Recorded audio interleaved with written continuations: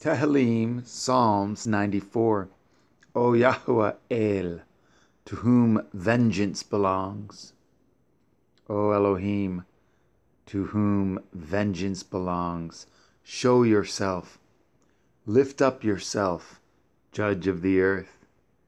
Render a reward to the proud. Yahweh, how long shall the wicked, how long shall the wicked triumph? How long shall they utter and speak hard things? And all the workers of iniquity boast themselves. They break in pieces your people, O Yahweh, and afflict your heritage.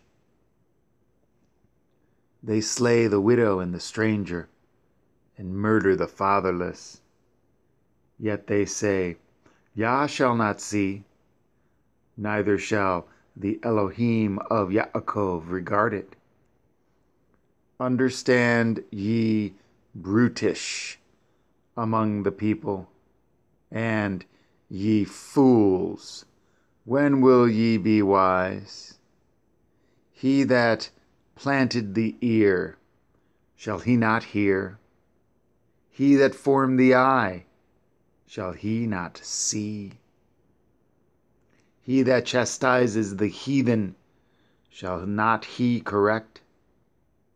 He that teaches man knowledge, shall not he know? Yahweh knows the thoughts of man, that they are vanity. Blessed is the man whom you chasten, O Yah, and teach him out of your Torah, that you may give him rest from the days of adversity until the pit be dug for the wicked. For Yahweh will not cast off his people, neither will he forsake his inheritance. But judgment shall return unto righteousness, and all the upright in heart shall follow it.